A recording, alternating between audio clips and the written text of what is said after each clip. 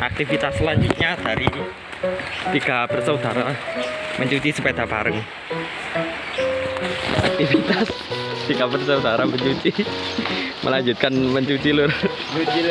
Bahaya ini. Bahaya lagi. Ya. Aktivitas tiga bersaudara mencuci sepeda. Pak Selamat sudah selesai lur. Nah ini tinggal dua orang sama saya sat- satu tiga orang. Oke lanjut ini Cak Sun mau ke mana oke siap. Ini tinggal menyeponi saja Cak Selamat